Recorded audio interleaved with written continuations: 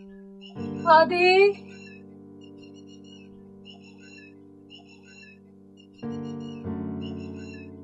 को मना किया था ना मिट्टी में खेलने से। है? दो दिन पहले नहलाया था। कहाँ से लाऊ इतना पानी? रोज रोज तुझे नहलाने को, पीने को पानी नहीं है।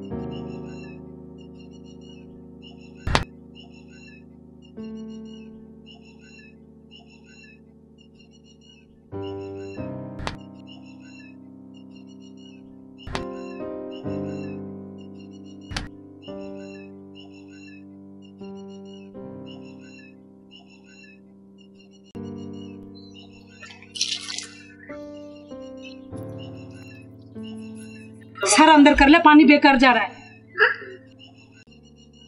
मत जाया कर बार बार मिट्टी में खेलने। नहलाऊँगी नहीं अब की बार महीनों तेरे को। खड़ा हो हाथ अंदर रख। यहीं पे रहना।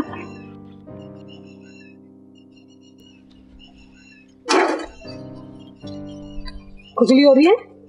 हाँ। अब फिर खेलेगा मिट्टी में? बिल्कुल नहीं नहलाऊँगी अब की बार।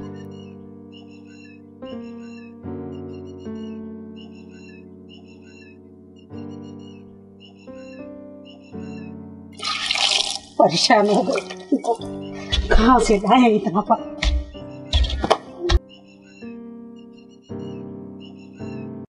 पानी के लिए बच्चे को डालना पड़ा। रोज मार खाता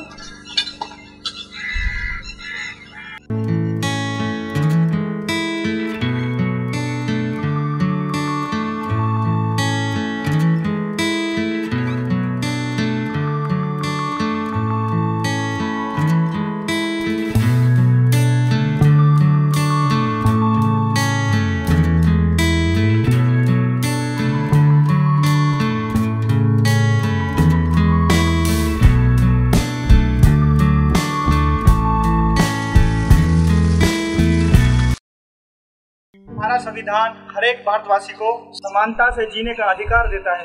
लेकिन अड़सठ साल बीत जाने के बाद बहुत सारे लोगों को पानी जैसी बुनियादी सुविधाओं के लिए संघर्ष करना पड़ता है।